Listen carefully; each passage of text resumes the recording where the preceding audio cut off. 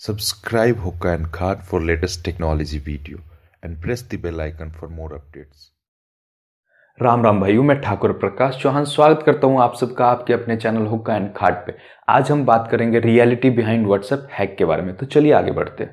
पहला शौक मेरा दाढ़ी मूछ का दूसरा पीना हुक्का। वीडियो शुरू करने से पहले मैं आपको बता दूँ कि अगर अभी तक आपने इस चैनल को सब्सक्राइब नहीं किया है तो नीचे रेड कलर का बटन है, उसे दबा के सब्सक्राइब कर ले। यह बिल्कुल फ्री है।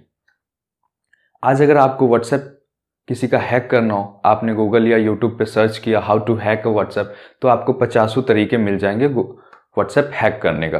तो इनमें से तीन बहुत पॉपुलर तरीके हैं क्यू आर कोड के थ्रू वेबसाइट के थ्रू और स्पाई सॉफ्टवेयर के थ्रू तो आज हम इन पे बात करेंगे।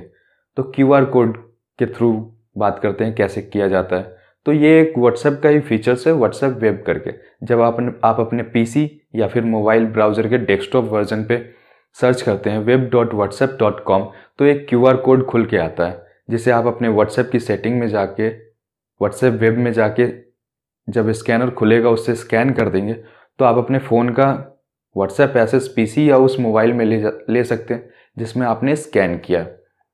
तो ये कोई हैकिंग नहीं है, ये तो व्हाट्सएप का एक फीचर्स है। इसे अगर आपको हैकिंग कह के खुश होना है तो आप हो सकते हो, आपकी मर्ज़ी है।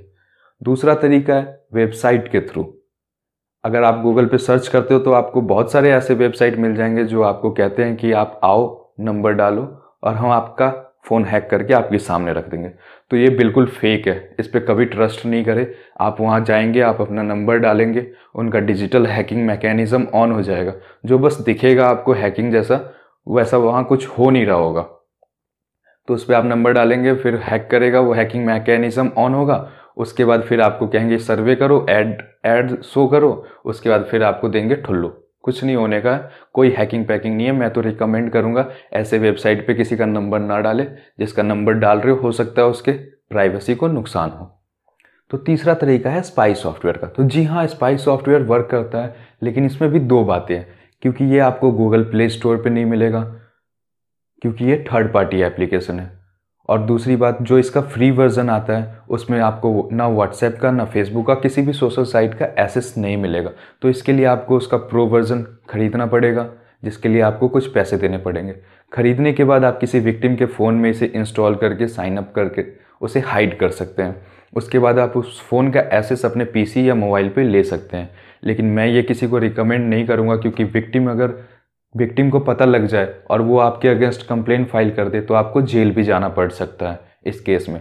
और दूसरी बात कि आप जिसके फ़ोन में इंस्टॉल कर रहे हैं उसके फ़ोन का सारा डाटा उस कंपनी के सर्वर पे चला जाएगा। तो हो सकता है कि उसके डाटा का मिसयूज़ हो इसलिए आ, मैं आपसे बोलूँगा कि आप किसी के भी फ़ोन में ये एप्लीकेशन इंस्टॉल ना करें बिल्कुल ना करें।